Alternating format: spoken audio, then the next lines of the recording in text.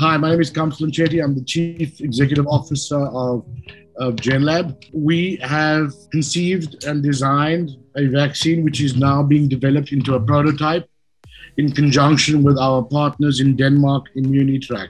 It will completely change the way the world perceives Africa in terms of innovation. We're going to be the ones who are leading the way in innovation. That's the good thing about having a vaccine for Africa by Africa and for the developing world. Our vaccine is a live attenuated vaccine. Ours aims to, to produce both a antibody and a T cell response. It's an intradermal injection into your bloodstream, creates a antibody response, then travels using nanotech to the lung, where it, where it, where it stays. It then lives in the lung so when the virus comes to visit, it's got a, it, you know, the vaccine is waiting. There's a live bacteria waiting to attack it or counterattack it and stimulate the immune system.